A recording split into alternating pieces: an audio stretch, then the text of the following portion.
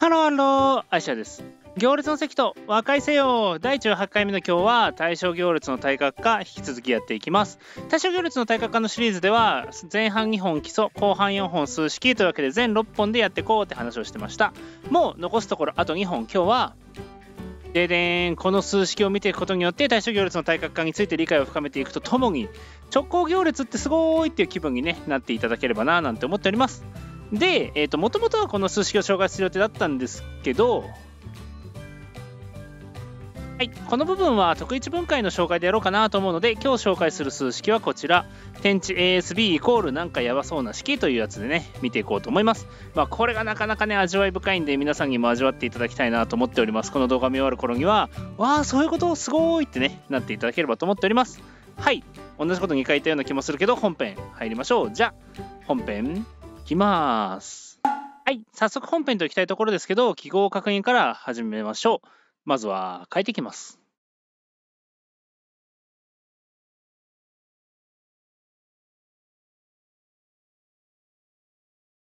はい、書けました。今日はね、今日もこんな登場人物と戯れていきましょう。最近の主役はこの人、S っていう N×N の対象行列があります。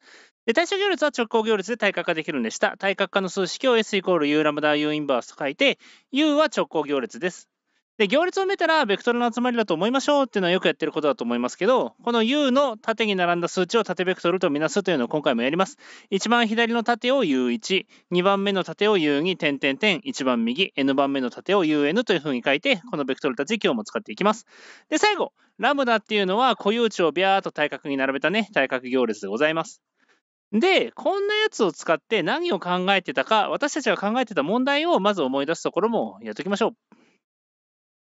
というわけで考えてることなんですけども、なんか対象行列ってね、こことここの成分が一緒で、うへへ、なんか対象だみたいなね、その数学的な興味だけでやってるんじゃなくて、実用的には S っていうのは関係性を表してるんだって考えてましたよね。ほい。で、具体的にどういう関係性を表してるかっていうと、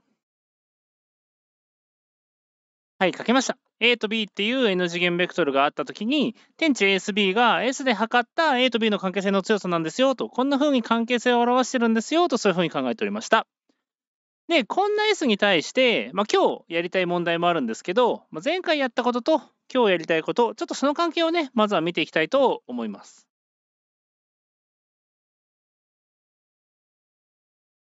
はい、書けました。前回やったのは、シグマの XIUI とシグマの YIUI っていう UI、固有ベクトルたちに係数つけて足したものの間の関係性を調べました。で、こんな風なやつが、こんな風なやつで書けますよ。どういうことかっていうと、この係数同士かけて、あとは固有値もかけて、この3つかけたやつを足してやれば関係性の強さになるよとね。なんか前回はそんなことをやりました。で、今回やりたいのは、普通のベクトルについての関係性ですよ。声かけました。でね、まあ普通のベクトルの関係性は知りたい。UI たちの係数付きの和の関係は分かってる。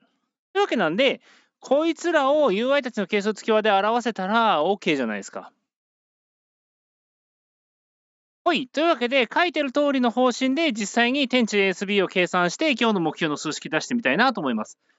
書いてある通りの方針っていうのは、UI たちの係数付き和の場合は分かってるから、こいつらを UI たちの係数付きの輪にしてやれという方針ですね。はい。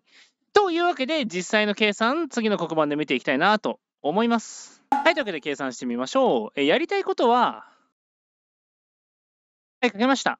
A っていうベクトルを、なんとか倍の U1 足す、なんとか倍の U2 足す、点点点、なんとか倍の UN っていう、この形で表したいんですよ。はい。で、まあ、これやっていこうかなと思うんですけど、まあ、さすがにね、丸とか三角とかで書いてるとしんどいんで、はい、こんな風に、一番最初、U1 の係数を x1、U2 の係数を x2、点点点、UN の係数を xn っていう風に書いてみましょう。で、こいつらを縦に並べたベクトルを x って書いてあると、こんなことがわかります。はい、書けました。x っていうのをこの係数たちを縦に並べたやつにすると、x イコール u インバース a っていう風になります。これ実は第7回でやりました逆行列は成分抽出だよっていうお話です。はい。どういうことだったかっていうと、まあ、A の中で U1 成分はこんなもん、U2 成分はこんなもん、UN 成分はこんなもんっていうその成分を知りたければ、このベクトルに U たちを並べた行列、逆行列ボーンってかけてやればいいよねっていう話がこの回の話でした。まさにそういう問題設定になってるので、X は U インバース A と分かります。で、普通の対角化だったらここで終わりなんですよ。なんだけど、対象行列の対角化の場合は直行行列で対角化できてるんですよね。で、直行行列だと、はい。U ってのと U の点値をかけたら単位行列に戻るっていう性質がありました。これが直行行列の定義です。これは多分第15回でやった気がします。で、えっ、ー、と、これだから何がわかるかっていうと、なんかこうさ、U になんかかけたら単位行列に戻るやつ、そのことを逆行列って言いましたよね。というわけで、直行行列の場合は、点値が逆行列になるんですよ。今言ったことを書きます。はい。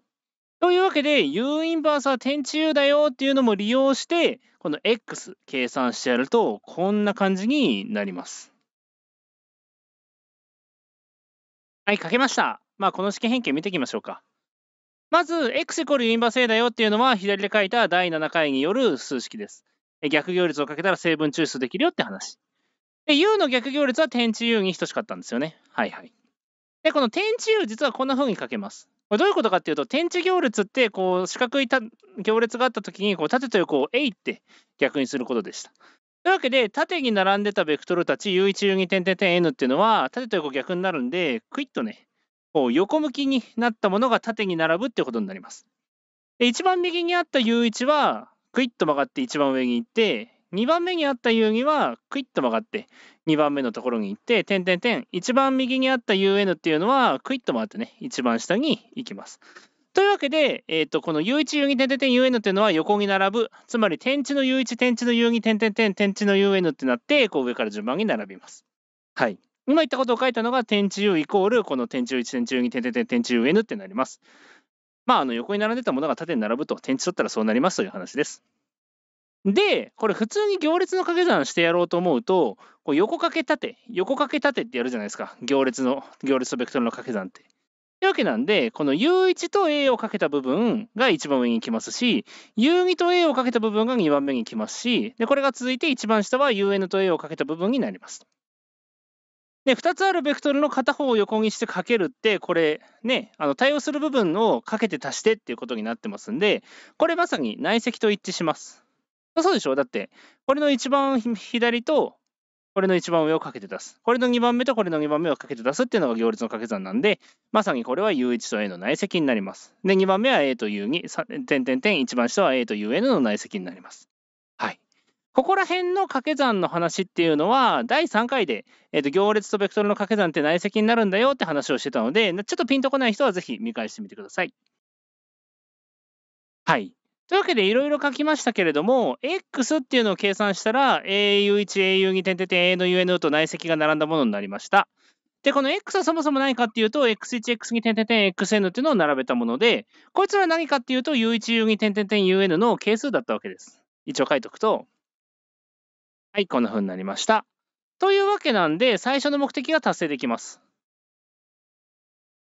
最初の目的、これだったんで、まあ、ちょっとやってみましょうか。式を書いてみますと、はい、こんな風に書くことができますよって、A っていうのは A と U1 の内積 ×U1、A と U の内積 ×U2、点点点、A と UN の内積 ×UN っていう風になります。はい、まあちょっとね、またなんかちょっと怖い数式が出てきたんで、細かいところを確認しましょう。まずこの右辺に出てくる一個一個の記号、これ全部ベクトルです。A もベクトル、U1 もベクトル、U1 もベクトル、A もベクトル、U2 もベクトル、U2 もベクトル、点点点、A、UN、UN 全部ベクトルです。で、うわ、ベクトルがこんな掛け算になってて大丈夫なの？知らないと思うかもしれないんですけど、まあ、よく見てみますとね、冷静に見るとこの括弧の中内積になってるわけなんで、ここ数字です。ここも数字、ここも数字。だからこれは、この括弧を一塊としてみれば、数字かけるベクトル、足す数字かけるベクトル、足す点点点、足す数字かけるベクトルってなってんで、まあ、なんか割とね、これと同じ形の式になってるわけです。今言ったことを書きます。はい、書けました。数値かけるベクトル、数値かけるベクトル、数値かけるベクトルってなってます。で、これ全く同じ計算してやると、B も似た感じで展開することができて、はい、こんな風に B の U1 の係数は B と U1 の内積。有義の係数は b と有義の内積点点点。un の係数は b と un の内積というふうになります。じゃあ、満を持して、これをもとに天地 ASB を計算してみましょう。はいと。で、計算するんですけど、まあ、前回の数式を思い出しましょう。こんな風に UI たちの係数付きワー同士のこの天地 ASB を計算するんだったら、係数同士かけて固有値かける。係数同士かけて固有値かける。係数同士かけて固有値かけるってやったものを足したものです。まあ、今言ったこと書いてあると、はい。こんな風に同じところかける、同じところかける、点点点、同じところかけるってやって、はい、やったのがこれです。同じところかけて、これとこれ、これとこれをかけてラムダ1かける。A という義の内積と B という義の内積。A という義の内積と B の有義の内積をかけてラムダにこういう値もかける。点点点とやったものです。で、これ全部足すんだからほいというふうになります。言った通り、こいつらを全部足すので、ラムダ i かける a と ui の内積かける b と ui の内積、これを全部足しましょうってことになります。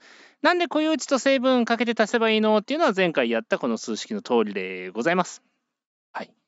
でまたちょっとね、見た目がごちゃごちゃしてます。ラムダ i は数字、a, ui, b, ui はベクトルなんですけど、内積取ってるんで、このカッコで数字になってます。それだけ書いておきますね。はい。というわけで、数と数と数かけたものを足してるのが、天地の ASB、S で測った A と B の関係性ってことになります。はい。できました。今日の計算はちょっとハードだったかな。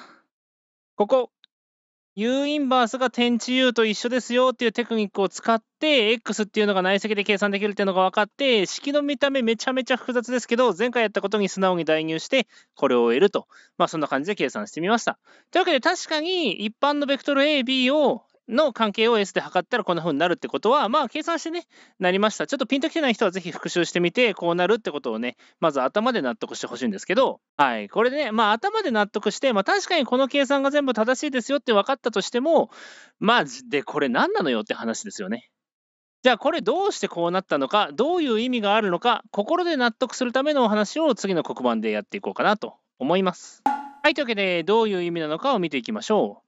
まずは計算したかったこと、そもそもを確認してみますと、はい、こんな風に A っていうベクトルを何とか倍の U1 足す何とか倍の U2 足す点点点何とか倍の UN っていう風に UN の係数付き和で表したかったんですよね。なんですけど、計算の結果こういうことが起こりました。はい、書きました。この UI の係数たち、こいつらがなんか内積で計算できたんですよね。